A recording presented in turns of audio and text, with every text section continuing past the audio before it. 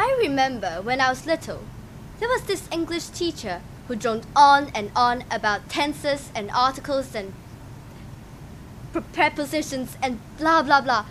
And I remember how she bored me to tears. I'm certain you've met this kind of teachers before. And I'm certain during the lessons you always feel your eyelids getting heavier and heavier and then finally close. Besides wanting to strangle your English teacher, have you ever really thought about why English lessons are so boring? Actually, this has something to do with the education system in Hong Kong, the force fed duck style education. A force fed duck is, as implied by the name, a duck being forced to eat. People force feed ducks to speed up their growth, ignoring the fact that the ducks may not be able to digest the food. And this is exactly what's happening to Hong Kong students. Teachers are just stuffing a bunch of grammar rules into their heads. No wonder everyone thinks English is such a pain in the neck. If I were an English teacher, the first thing I'd do is to defy the force fed duck style education. Grammar rules are. I, I certainly would not torture my students by making them finish every single exercise in the grammar book. Grammar is dead.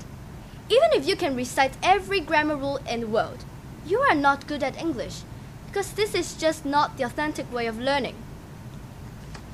If I were the English teacher, I would toss the grammar book into the trash and instead teach with other materials such as newspapers, magazines, bestsellers, and even movies and songs. This way, students could be exposed to real life English, but not that kind of weird sentences that sound contrived and unnatural, like, by the end of next month, she will have been teaching for 20 years.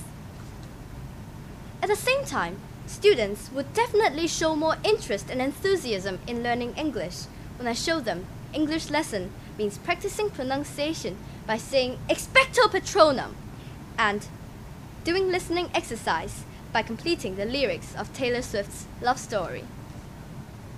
Learning English and also any other subjects should not be in force fed duck style education in the first place.